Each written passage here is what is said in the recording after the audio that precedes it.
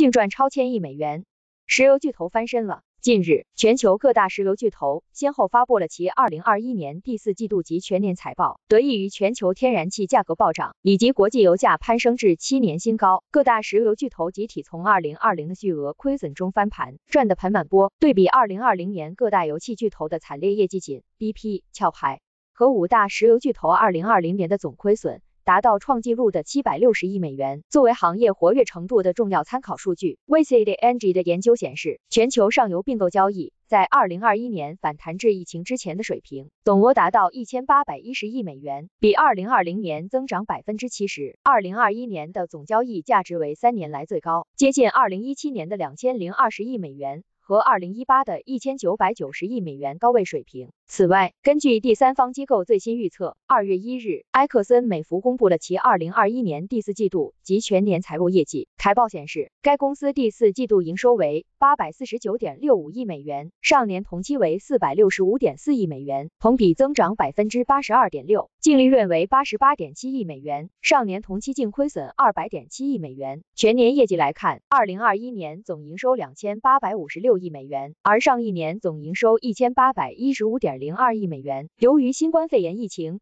打击了全球能源的需求，导致油价下跌。二零二零年，埃克森美孚亏损惨重，全年净亏损高达二百二十四亿美元，成为其四十年以来首次年度亏损。埃克森美孚和雪佛龙甚至在二零二零年初很严肃的进行了合并谈判。该公司董事长兼首席执行官这俄乌兹表示：“我们有效应对疫情。”在低迷周期中的重点投资以及结构性成本节约，使我们能够在二零二一市场好转之际获得发展。他说。我们正在采取行动，进一步加强我们的竞争优势和增加股东价值。作为近邻队伍的新成员，埃克森美孚在报告中再次强调了低碳目标。埃克森美孚董事会批准了公司二零二二年的资本支出计划，预计资本支出在二百一十亿美元至二百四十亿美元之间。尽管在过去的一年，石油巨头壳牌经历了更名、监督，甚至一度传言一拆为二，看似风雨飘摇，公司业绩依然超出市场分析师的预期。二月三日，壳牌发。布了二零二一年第四季度及全年财报。财报显示，在大宗能源商品价格大幅上涨的推动下，公司业绩大涨。根据壳牌发布的财报，在二零二一年第四季度，壳牌调整后净利润为六十三点九一亿美元，而前一季度为四十一点三亿美元。二零二零年第四季度利润则为三点九三亿美元。此外，到二零二一年底，壳牌净债务减少到五百二十六亿美元，比二零二零年减少了二百三十亿美元。壳牌首席执行官班文德等将二零二一年。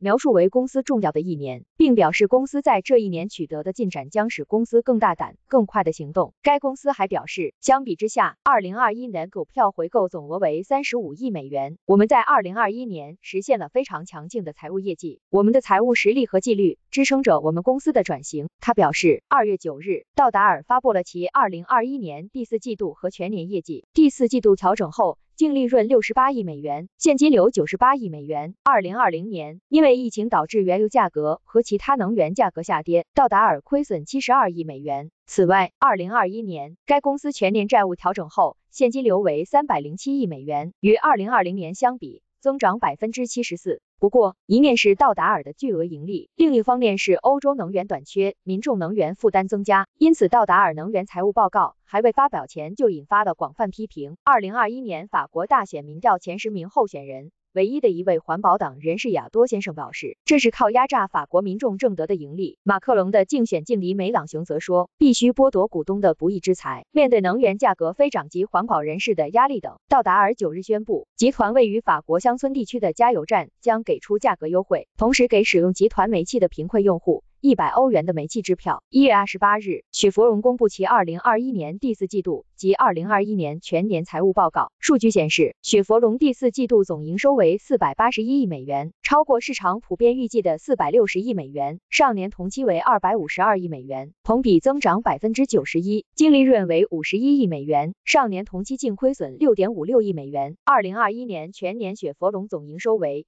一千六百二十四点六五亿美元，上年同期为九百四十六点九二亿美元。截至二零二一年，雪佛龙经营性现金流为二百九十二亿美元，二零二零年同期为一百零六亿美元，二零二一年自由现金流为二百一十一亿美元，二零二零年同期为十七亿美元。能源危机推动石油和天然气价格飙升的大背景下，二月八日，BP 公布了其第四季度及全年的财报。报告显示，BP 第四季度净利润从前一季度的三十三亿亿美元。增至四十一亿美元，超过分析师预期的三十九亿美元，高出此前为菲尼特调查的分析师预计的一百二十五亿美元。这是该集团一零年来首次出现年度亏损，原因是疫情打击了石油需求，加上减记了六十五亿美元的油气资产。对于此次公司利润创下八年来新高，BP 首席执行官伯纳德鲁尼表示，过去两年公司制定了新的目标方向和战略，并完成了历史上最大的重组。随着这段变革的全面结束，公司现在只专注于通过安全、高效的实施战略来创造价值。鲁宁同时表示，未来公司将增加低碳投资，争取到二零三零年将石油和天然气产量削减百分之四十，彻底改革该公司。BP 承诺，预计二零二二年的资本支出将从二零二一年的一百二十八亿美元增长至一百四十亿美元到一百五十亿美元。二月九日，挪威国又公布了。其二零二一年第四季度及全年财报，Equin 表示，受石油和天然气价格上涨推动，该公司二零二一年第四季度税前利润刷新纪录。该公司第四季度经调整的税前利润由上年同期的七点五六亿美元。大幅增至一百五十亿美元，高于分析师预计的一百三十二亿美元。调整后净利润为四十四点零亿美元，而去年同期亏损五点五亿美元。随着全球市场从疫情中复苏，石油和天然气行业在去年迎来了巨大的转变。数据显示，二零二一年一月至十二月期间，欧洲天然气价格上涨了四倍，北海原油价格也上涨了百分之五十以上。Equinor 首席执行官 Anders o p e r v e r 由于持续改进和资本纪律，Equinor 去年自由现金流达二百五十亿美元。该公司表示，计划将二零二二年的股票回购规模从二零二一年的十三亿美元增至五十亿美元，预计两千零二十二至两千零二十三年的资本支出约为一百亿美元年，两千零二十四至两千零二十五年约为一百二十亿美元年。尽管在疫情期间，康菲石油出手阔绰，先后以一百三十三亿美元的价格收购康桥资源。以及九十五亿美元现金收购荷兰皇家壳牌公司的二叠纪盆地资产，但在二零二一年，得益于石油需求和价格的恢复，二月三日，康菲石油公布了其二零二一年第四季度及全年财报。公告显示，该公司二零二一财年第四季度净利润为二十六点二七亿美元，而二零二零年第四季度亏损八亿美元，同比增长百分之四百四十点二八。康菲石油首席执行官 Y.N. Les 称。二零二一年为变革年，该公司收购了康桥资源和壳牌二叠纪资产，同时通过分红和股票回购，仍将六十亿美元返还给股东。该公司二月三日宣布，计划将今年的股东回报提高十亿美元，使二零二二年的总额达到八十亿美元，比去年增长百分之三十以上。